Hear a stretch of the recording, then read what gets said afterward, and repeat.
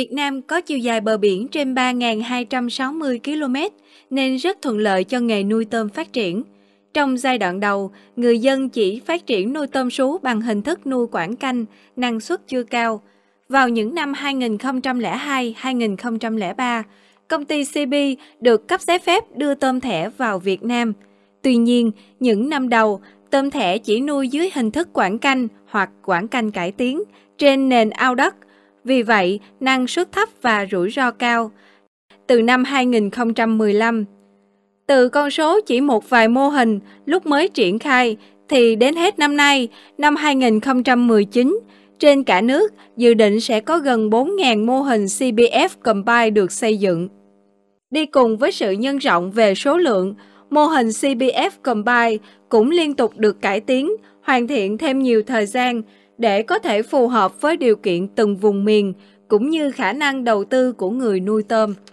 Dưới đây là chia sẻ kinh nghiệm từ một số khách hàng CB đã có được thành công cao và liên tục từ mô hình CBF Combine. Chia sẻ về hệ thống xử lý nước nhanh trong mô hình CBF Combine, ông Nguyễn Trường Đại tại huyện Nhân Trạch, tỉnh Đồng Nai cho biết. Tôi làm cái hệ thống xử lý nước nhanh à, coi như là đầu tiên ở Việt Nam mình. Thì khi mà trong cái đấy đi học bên Thái về thì làm đầu tiên. Nhưng mà qua quá trình làm xử lý nước nhanh ấy, thì à, thấy hiệu quả nó rất là tốt. Nhưng mà sau khi làm một thời gian thì thấy nó bị à, lỗi ở những cái điểm mà cái điểm mà coi như là à, à khi mà mình làm ở dưới ao ấy, thì lâu ngày mới vệ sinh được một lần. Thì khi mà lâu ngày ấy thì lúc đấy thì nó bị những cái lượng vi khuẩn lại bùng lên cho nên là bây giờ là hiện tại bây giờ là thay đổi cái hệ thống xử lý nước nhanh làm lại nguyên một cái hệ thống xử lý nước nhanh mới này. Thì ờ, thấy hiệu quả của nó rõ ràng luôn. Thì chỉ cần là coi như là trong vòng 3 đến 5 ngày là mình xử lý mình rửa vệ sinh một lần. Mỗi một lần vệ sinh rất nhanh chỉ khoảng một tiếng một đến một tiếng rưỡi thôi là xong một cái hệ thống. Đầu tiên là chạy cái bộ phận là coi như là thuốc tím. Thuốc tím thì, thì ở đây đang hiện tượng là cái nước thì nó cũng không sạch lắm thì là đang chạy là 5 ppm thuốc tím còn uh, là chạy à, uh, 25 bi. 25 bi PEC PAC á. Thì chạy uh, hết một cái uh, dọc một cái uh, hệ thống dứt dắt này là 200 m 200 m thì bắt đầu đến cuối cùng là bắt đầu là chạy cà lo.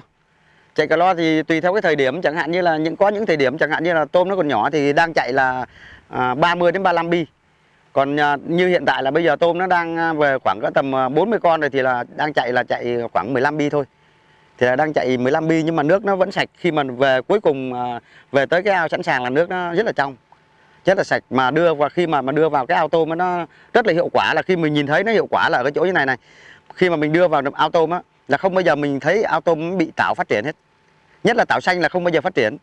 Nó chỉ có tảo nâu là nó giữ suốt luôn từ đầu vụ đến cuối vụ nhé không bao giờ lên tảo xanh. Nếu mà cứ nó giữ tảo nâu như như hiện tại là coi như là thấy à, trong cái quá trình nuôi là mình thấy nó, con tôm nó phát triển rất là tốt. Hôm nay là 78 ngày thì hôm nay à, cũng về khoảng 40 tầm 42 con. Chia sẻ về hệ thống xử lý chất thải bioga trong mô hình CBF Combine, ông Nguyễn Trường Đại tại huyện Nhân Trạch, tỉnh Đồng Nai cho biết. Sau khi mà quá trình mà nuôi tôm ấy, thì à, tôi cảm thấy là coi như là cái chất thải mà khi mà đưa thẳng ra môi trường ấy, thì nó sẽ ô nhiễm cái à, cái dòng suối, cái đường mà lấy nước vào. Thì là bắt đầu mới nghĩ đến cái chuyện mà làm đưa cái chất thải đấy vào hết toàn bộ bioga. Thì khi mà đưa cái chất thải toàn bộ vào cái hầm bioga này rồi á thì uh, lúc đấy uh, đưa vào uh, đốt sinh hoạt. Mà thấy cái cái cái lượng bioga nó, nó, đốt mà nó, nó nhiều quá sử dụng không hết. Thì lúc bây giờ bắt đầu lại có ý tưởng. Cái ý tưởng là lấy cái khí ga đấy để mà sử dụng cái máy phát để mà xài bằng cái điện thắp sáng cho nguyên cái trại tôm thì ờ, nó tính ra thì ờ, nó cũng ờ, giảm được cái chi phí về vấn đề tiền điện. Chia sẻ kinh nghiệm về quản lý môi trường và sức khỏe tôm trong mô hình CBF Combine, ông Nguyễn Quốc Khởi tại huyện Thạnh Phú, tỉnh Bến Tre thông tin như sau. Ở chung là tôi nuôi tôm CB thì 7 năm rồi, đều thành công hết. Nhưng năm nay thì đặc biệt năm nay thì thế hệ giống mới này là G9 gì đó và nói chung năm nay là tốc độ tăng trưởng nó cũng à, nhanh hơn năm rồi. Năm rồi tôi ương là 23 ngày là nó nằm hai ngàn hai con mình mới sang ra. Năm nay là 23 ngày năm nay là nó nằm ở ngàn sáu con. Đó, 1.600 con thì tôi thấy là cái giống là rất là lớn là nhân lớn. Với ăn thức ăn là super sim á.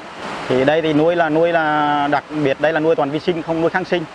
Ở đây là nuôi là chúng vi sinh đây thì là xài thường thường là xài mình sục khí hàng ngày đây là xài Civilus thường thường là một ngàn à, ao nuôi là một ngàn mét vuông à, mét à, mét vuông là mình xài có à, một một gói hai ký mặt đường thì quản lý màu nước rất là tốt tôm bây giờ đây hôm hôm nay là 42 ngày nó nằm cỡ trăm rưỡi trăm sáu con từ những thành công của mô hình CBF Combine trên toàn quốc với mong muốn nhân rộng hơn nữa mô hình để có thể tiếp cận và mang lại hiệu quả cao đến với nhiều khách hàng hơn.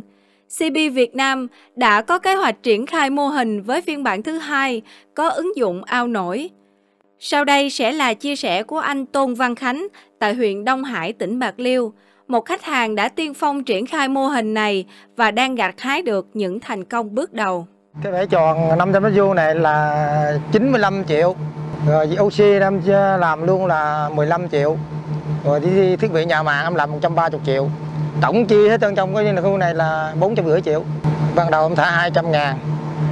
Được à, 46 à, ngày em sang ra là 100 con.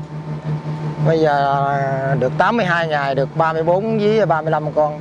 Giai đoạn đầu thì ăn à, super sim còn giai đoạn sau này thì ăn thức ăn này là gon super lớn từ kiểu này nữa 20 ngày nữa là em sẽ thu một ao là 3 tấn tôm hai ao sau thu được 6 tấn Chất lượng nguồn nước đóng vai trò quan trọng trong việc tạo nên kết quả thành công của vụ nuôi.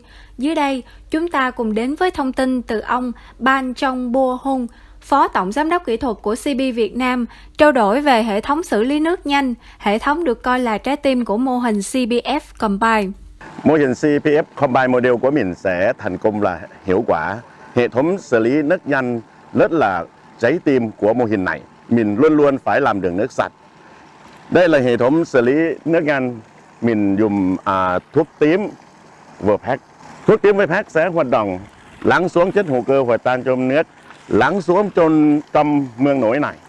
Mương nổi này là độ rộng là khoảng 5 đến 10 mét, dài cũng khoảng 100 mét. Khi thuốc tím với phép hoạt động, chất hữu cơ sẽ lắng xuống trong khu vực này hết. Xong rồi mình sẽ vệ sinh được nhanh.